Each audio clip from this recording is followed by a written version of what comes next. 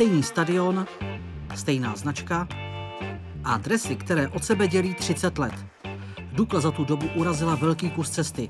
Z někdejších klubových opor se stali fanoušci, kteří nechybí na každém domácím zápase a mohou sami sebe porovnávat s nastupující generací.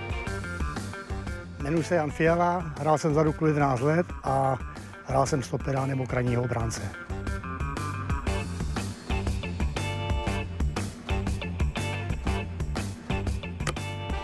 Jmenuji se Ondřej Vrzel, hraju za Duklu a hraju levýho beka.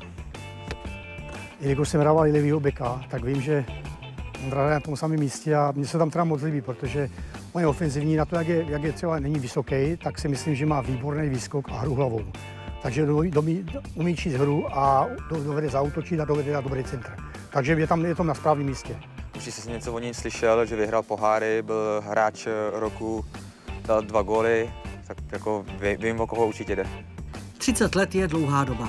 Fotbal zažil progres, je rychlejší a dynamičtější. Jak by asi dopadli obránci, kde by mohli cestovat časem?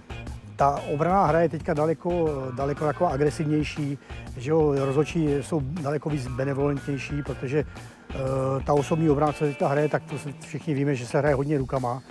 Je tam hodně nedovolených zákroků a, a to mě tenkrát strašně vadilo, že, že my jsme to nepoužívali, nebo Tenkrát se takhle nehrávalo. Myslím, že kdybych se vrát, jakoby byl v, v té době, tak si myslím, že, že, by, že by to bylo asi tak stejný, jakoby nějak podobný. Akorát, že teď se prostě víc útočí a, a chodí, dřív chodilo víc lidí určitě a teď je to takový o technice. A... a teďka je to agresivnější a nevím, no, jestli mě to chybí nebo ne, ale eh, prostě teďka je to daleko rychlejší a takový daleko tvrdší. Je to takové zaměření, že se připravujeme třeba na ten druhý tým, když, se, když s ním hrajeme, takže se zaměříme na jeho standardky, jak hrajou, jak vystupují, jaký dělají chyby. A pak samozřejmě tam je to, uh, další věc, že hodně regenerujeme. Tenkrát už bylo video, my jsme tady měli speciálního videotechnika, který s námi jezdil teda zápasy, tak, tak a točil samozřejmě soupeře.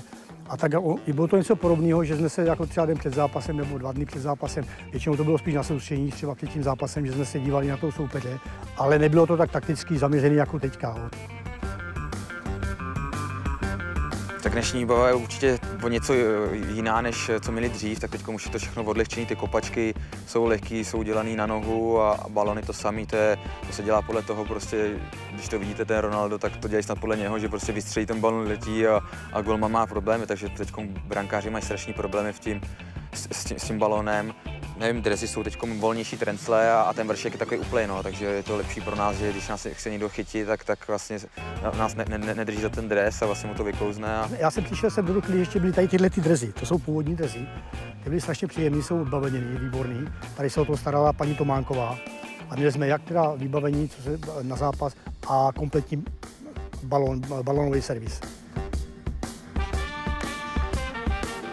Fotbalový zážitek, tak to bylo teď asi, když jsme vyhráli z Plzní 1-0 tady doma, protože jsme vlastně si máš ještě od té doby, co jsme eh, šli do první ligy, tak jsme si má nevyhráli, tak si myslím, že tady to je velký zážitek.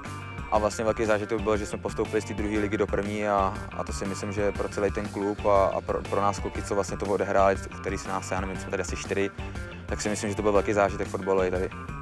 No, je to těžké vybrat ten takový nejlepší, ale co potkávám takhle eh, fandové, který si, fandy, který, který si pamatují ty naše léta, tak nejvíc vzpomínají samozřejmě asi na Stuttgart tady, že v 77. roce, kdy jsme tady eh, postoupili vlastně do semifinále nebo čtvrtfinále, myslím, už si vzpomínám, že jsme ve, ve Stuttgartu jsme prohráli 4-0 a tady 4-1 a tady jsme vyhráli 4-0. Bylo to, myslím, že 7. Nějak 7. prosince a byl mráz asi 10 stupňů mínus, no, takže plný stadion, narvaný, no a tak to byl zážitek, který asi největší tady na té ulici. No. Jeden má za sebou tituly, druhý na velké úspěchy čeká. Oba spojuje jeden klub, klub z Julisky. Když dám třeba gol, tak je spíš pro mě důležitější, eh, důležitější že vyhrajeme prostě a vyhraje vlastně celý tým a, a z toho mám největší radost z vítězství. Já mám největší radost teďka, bych řekl pravdu, z mojí vnučky, která je nádherná a která mi dělá největší radost. No a jinak samozřejmě ještě jsem rád, že si můžu jít zahrát se starou gardou a a ještě mi to zdraví slouží, takže se můžu občas proběhnout, když už, už to není takový, jak to bývalo, ale zaplať vám za to.